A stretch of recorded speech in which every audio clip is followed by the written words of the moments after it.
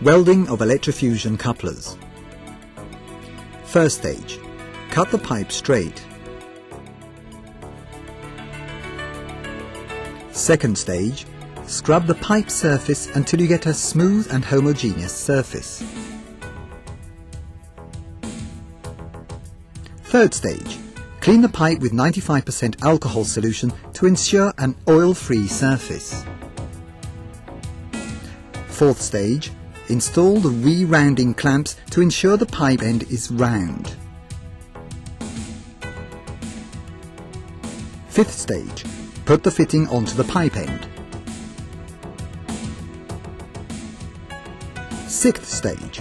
Fasten the pipe ends by means of clamps. Seventh stage. Connect two cables from the controller to the fitting and activate the controller.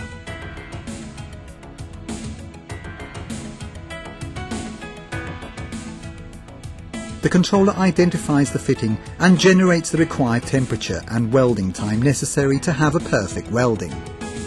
After welding has taken place, wait for cooling down of the fitting. A welding report can be generated after completion of the welding process.